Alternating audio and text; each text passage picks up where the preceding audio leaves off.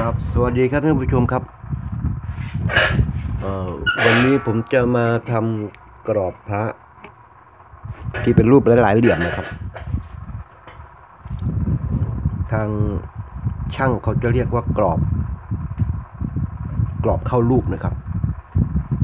กรอบเข้ารูปก็คือการวาดไปตามรูปพระเลย พระมารูปไหนก็วาดไปตามรูปนั้นเลยนะตอนนี้ผมจะมาแนะนำเครื่องมือ รื่องมือตัวนั้นคือตัวนี้นะฮะนะครับ เดี๋ยวผมจะวาดเป็นตัวอย่างให้ดูก่อนนะครับใช้ปากกาอันนี้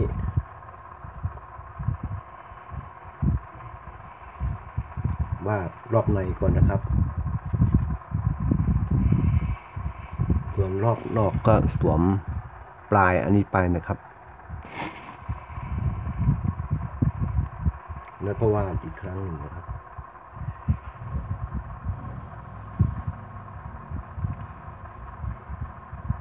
นี่ครับ มัน ก็จะได้เป็นเส้นคู่ขนานแบบนี้นะครับ เช่นกรอบแบบนี้นะครับ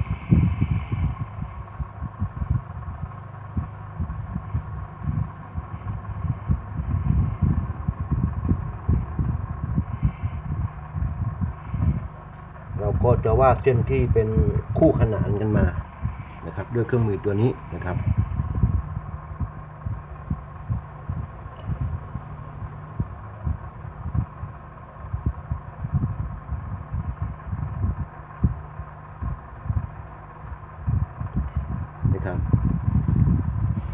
เครื่องมือ ตัวนี้จะช่วยนะฮะตัวนี้นะครับ จะช่วยในการวาดเส้นคู่ขนาน เพื่อใช้ในการวาดภายในนะครับ อันนี้ภายนอก ก็คือตัวผู้นะครับ และตัวเมีย ซึ่งเป็นกรอบที่เราจะทำอยู่เสมอๆนะฮะเพื่อให้มีช่องไฟตรงนี้นะฮะ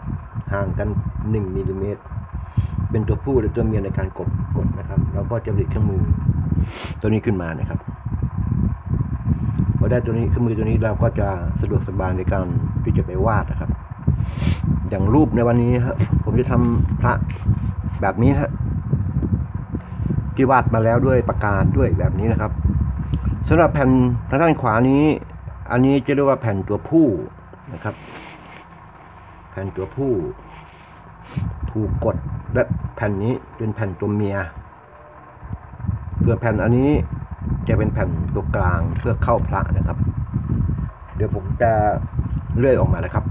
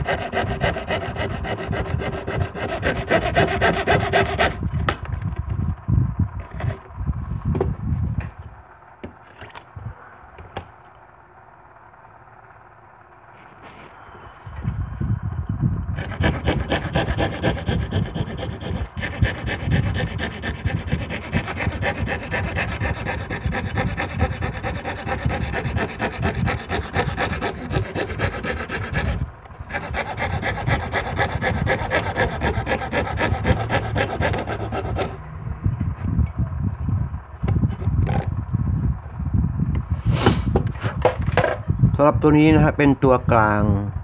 ที่จะอัดพระ เพราะฉะนั้นเราจะต้องทำให้ฟิตไว้ก่อนนะครับ ถ้าเราทำหลวม จะบังคับให้พระเข้าไปนนั่นอยู่นี่ไม่ได้เดี๋ยวเราต้องทำให้คับๆไปก่อนครับ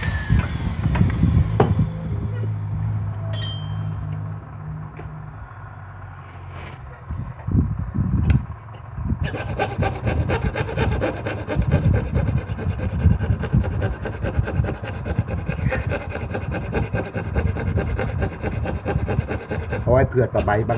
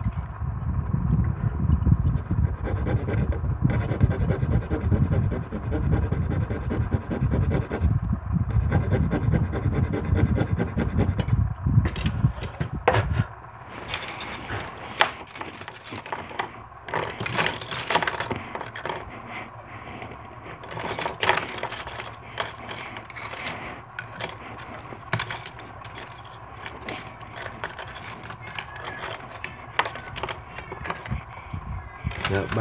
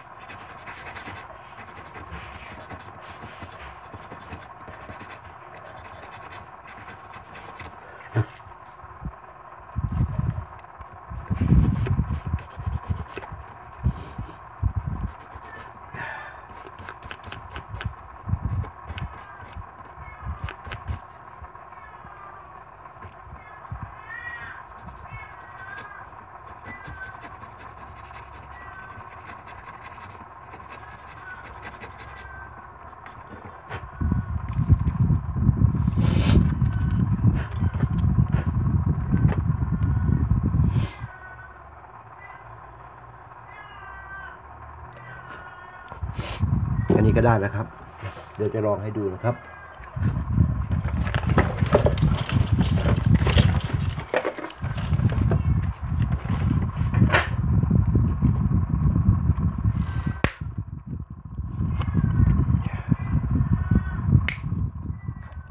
นี่จะทดลองให้ดูนะครับว่า ว่าแบบจะคมแบบขนาดไหนครับ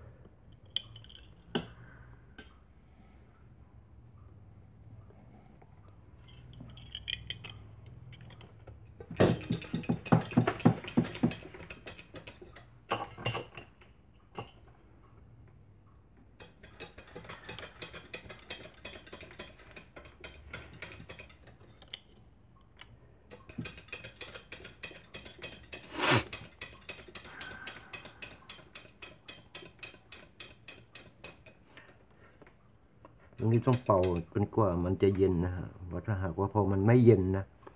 มันก็จะยุบลง ถ้ามันร้อนอยู่นะฮะ เป่าเป่า มันยังไม่เย็น มันจะยุบลง เราก็ต้องเป่า ค่อยๆ จนกว่ามันจะเย็น พอมันเย็นแล้วมันก็จะอยู่คงที่ เย็นนะนี่ครับ เราก็จะได้แบบนะมีคมมีเหลี่ยมอย่างนี้ขึ้นมาแล้วครับ นี่ครับแบบนี้ก็ใช้ได้แล้วฮะนะครับวิธีการทำบล็อกแบบนี้นะครับ นี่เป็นบล็อกผู้เมีย ส่วนตัวนี้บล็อกอันนี้เนี่ยเราจะต้องไปเผาไฟสักหน่อย เพื่อให้มันใสนะครับ เผาไฟเฉยๆเนี่ยนะฮะเพราะว่าตรงนี้นะฮะมันยังเป็นเหมือนกับ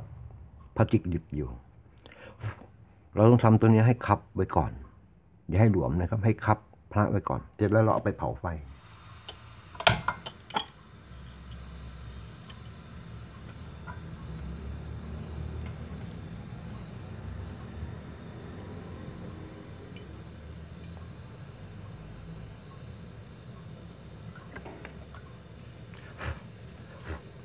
เวลาเผาก็ต้องระมัดระวังไม่ให้พลาสติกเดือดนะครับ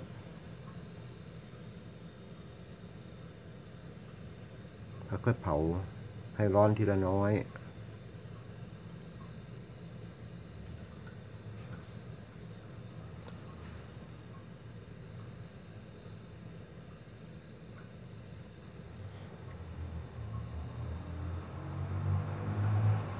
ก็เหมือนกับการใช้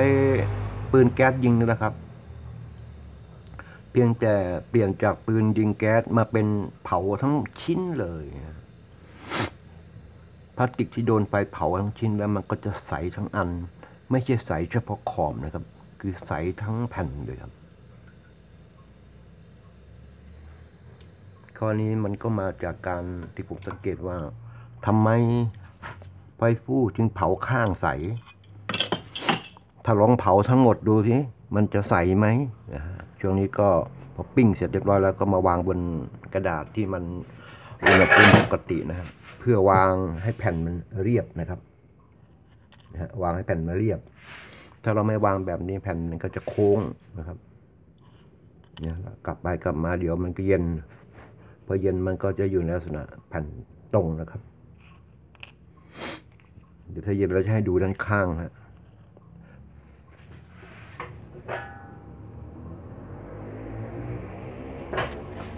จับตอนนี้เย็นแล้วนะฮะจับได้แล้วนะฮะนะฮะ สังเกตดูไหมครับว่าด้านข้างเนี่ยใสนะครับฮะด้านข้างนี่ใสมากเลย เดี๋ยวผมจะลอกแผ่นพลาสติกธรรมดาให้ดูนะ อันนี้เป็นแผ่นพลาสติกที่ยังยังไม่ได้โดนไฟนะครับ นี่นะฮะ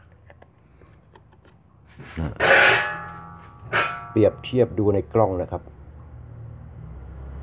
คือพลาสติกที่